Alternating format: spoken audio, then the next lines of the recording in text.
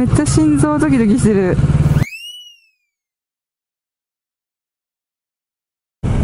象さんの岩に向かってます。この辺からちょっと道が狭くなりそうだな。あ落石注意って書いてある。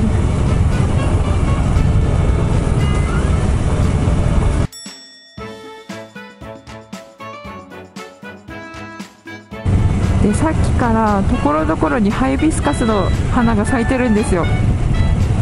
南国？さっきまでは正常に動いてたのに。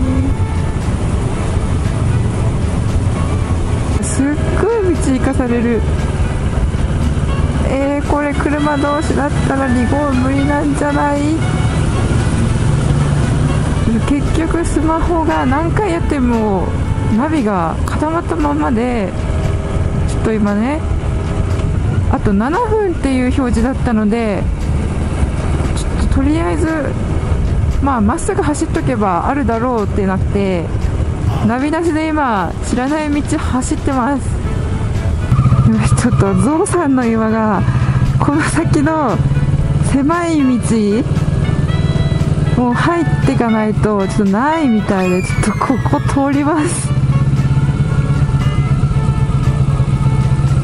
これもまた離合ができないやつですね。車で車同士だったら。ああ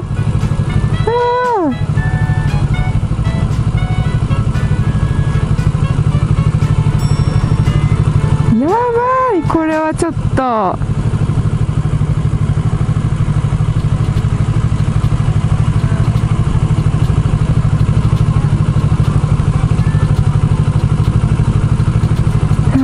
めっちゃ心臓ドキドキしてる。とりお願いだから対向車来ないでっていう。余計めないこともなさそうだけどもなんかトトロの世界 トトロ出てきそうな道。あこんな険しい道を。なんかゾウさんの岩はあのインスタグラムでたんですけどまさかフォロワーの皆さんこんな道を通って行ってたんですね。ちょっとカーブミラーもないな。この辺は広いからこの辺だったら離合はできそう。ああった車が。あ着いたぞ。いた。どこだゾウさん？ゾウさんどこ？ゾウさんどこ？どこだ？あれゾウさんどこ？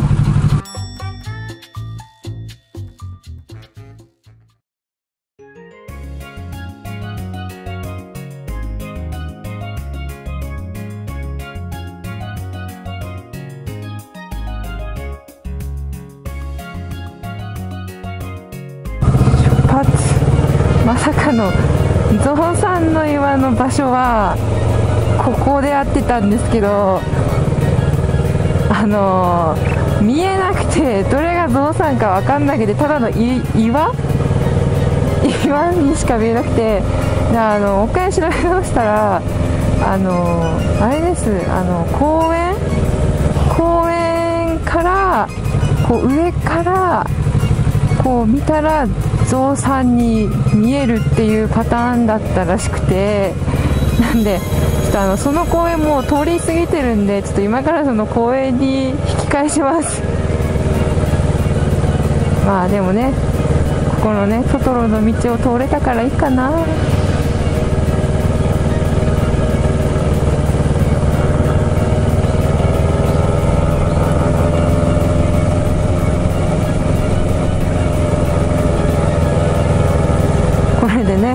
ようやくゾウさんの岩を見ることができます。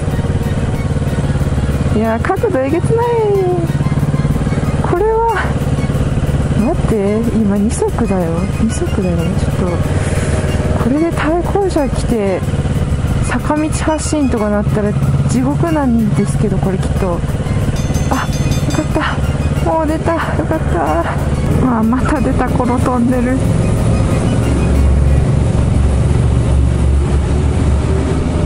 回のツーリングはちょっと道に迷うツーリングですね。ちょっと天草を満喫してるツーリングでもあるんですけどずっと行ってみなかったところに今日来れたんでめちゃくちゃ嬉しいです。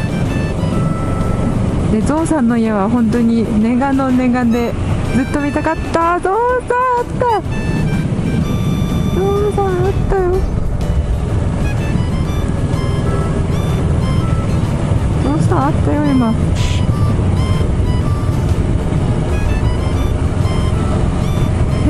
ちゃ綺麗。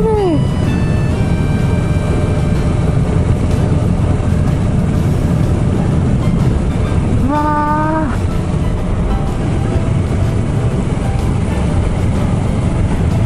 ー。大城丸どうだい？